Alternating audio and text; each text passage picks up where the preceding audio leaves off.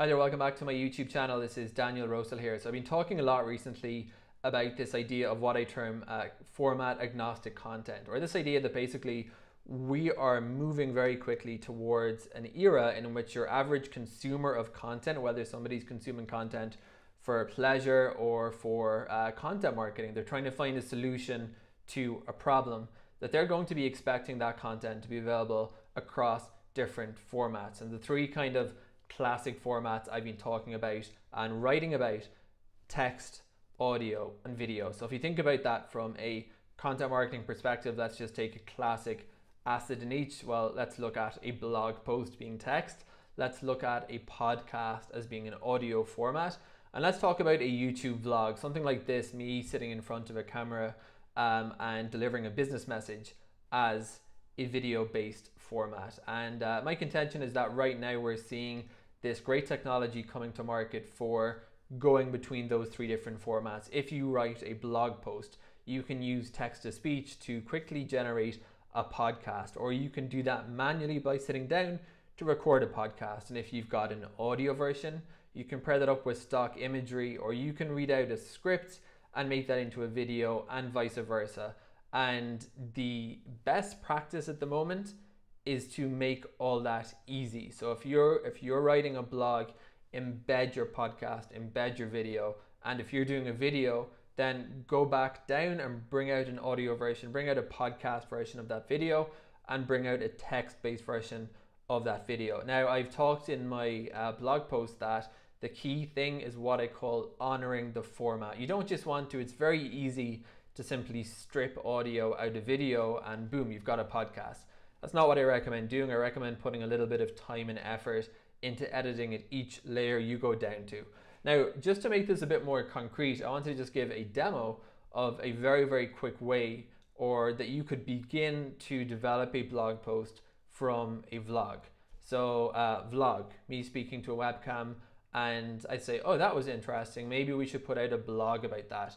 So here's just kind of a workflow that I would suggest or advise people to consider. So very quickly, this is a uh, rather geeky uh, video I just put out on YouTube, uh, just about something to do with computer networking, backup, internet, uh, etc. Now, let's say that I wanted to do a um, get a blog or convert this into a blog, make a blog based on this.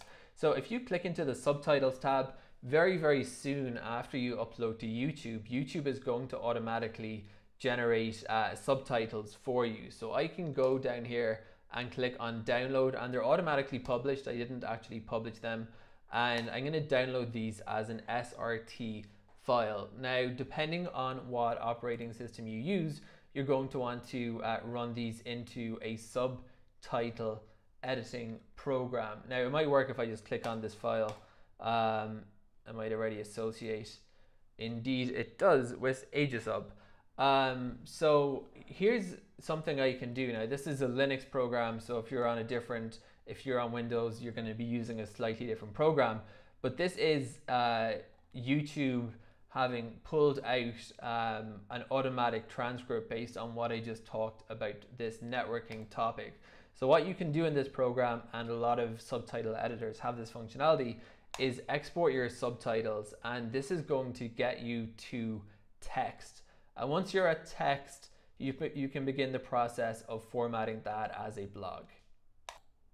So I've just jumped ahead a little bit. So I've gone to my desktop and I can call it my video about cellular cellular uh, backup and I'm going to give it a text file name. And now if I open up that text file, you can see I don't have those timestamps anymore. This is just like a raw 188 lines of text that YouTube has automatically converted um, automatic transcription. It's taken the soundtrack from that video and has converted that to text. So now I can go into something like just change up the tool here. Let's open up a word processor, uh, LibreOffice, and I can just dump that in and uh, I can begin to write a blog post here. So this was about, um, you know, 4G routers, what you mightn't know before purchasing. Uh, I'm just going to give an example. Now, this is very, very rough. The text is very rough, but it's still going to be easier to develop a blog post out of this than it would be uh, if you were just trying to start something from scratch. So that's just a quick example I wanted to give of a method you could use if you want to, if you do a blog off the cuff and you say, oh, you know what, that was actually quite good. That could be, there's material here for a blog post. Now, the the hard way to do that would be to you know watch your video, maybe watch it in slow motion, take notes, and uh, start to write a blog. Or you could leverage something like this, get a transcript. You can get a better transcript than that. You can you can you don't have to use YouTube's auto-generated transcript. You can run that video through Rev. Whatever you want to do, start with the computer-generated AI transcript, extract down to the text layer and once you're at the text layer, you can begin formatting that into blog post format.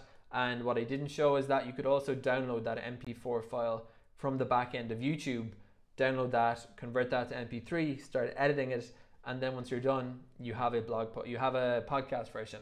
So that's what I'm talking about. Uh, format agnostic content is taking, starting from one format, whether that's video or text, and either working up or working down honoring each format that you edit in. And once you do that and you publish through your blog, through your podcast, through your YouTube channel, you're going to each time be widening your distribution options and getting more eyes, ears on your content because you're making it easy for people to consume what you have to say in the format that's most convenient to them. Thank you very much for watching. If you'd like to get more videos from me, feel free to subscribe to this YouTube channel.